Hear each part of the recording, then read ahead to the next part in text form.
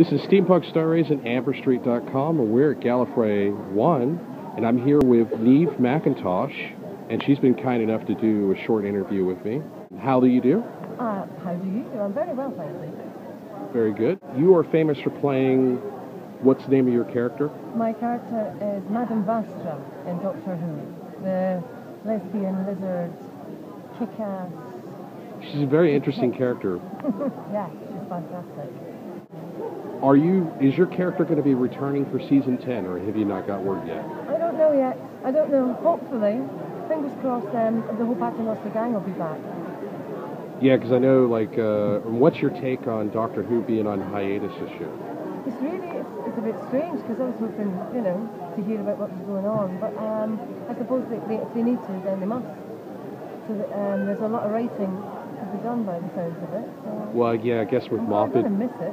With Moffat leaving, I guess it's Yeah. kind of leave left a little bit of chaos in yeah, its wake. Yeah, so I think, yeah, uh, if we get all the writing in place and then they can get started on the next lot. So, yeah.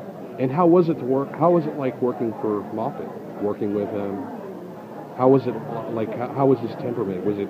But How- Mr. Moffat, Yeah. Stephen, uh, no, he's fine. I mean, he, he, he pops in and out very surreptitiously. Um, and, uh, you know, he'll just make sure that everything's going all right, say hello, and then he pops off again. So, um, no, he's lovely. He's lovely. Just hope that he writes me some more stuff. Oh, okay. And are you working on any other projects outside of Doctor Who? Uh, no, not at the moment. Not at the moment, but we'll see. Oh, okay. Yeah, I know. For the first time, I think, ever, I've not, not, not got a job on, but we'll see.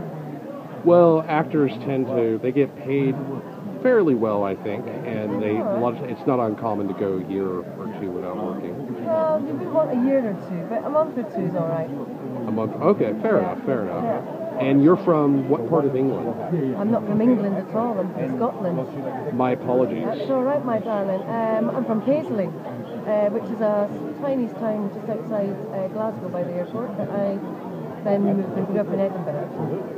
I don't have a Paisley accent anymore. And what other interests or other things do you do besides acting?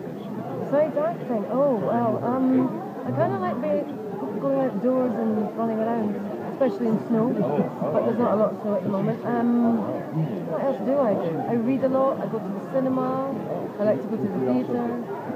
Um, I enjoy um, going out with my friends, especially to a good bar and getting drunk okay. And dancing.